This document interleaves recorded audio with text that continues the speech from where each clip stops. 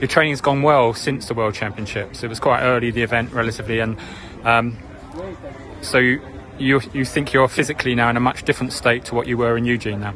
Yeah, and also mentally as well, because you know it bothers your mind to have an injury and to always go around thinking, you know, will the next session be a step back or a step forward? Yeah. Now I'm just running, not thinking, and, and that's the way to run fast. So I feel a lot better, both mentally and physically now. Yeah. Um, and, and in Eugene, you sort of, you know, there was no, you could have possibly run for a safe medal given your fitness, but you had to go out and try and win the race because, uh, yeah, there was no other. Actually, you know, I would, I would never feel comfortable saving a medal, and, uh, and to be honest silver or bronze wouldn't make you know a big of a difference for me there. I think you know I went for the gold, and I'm proud that I did.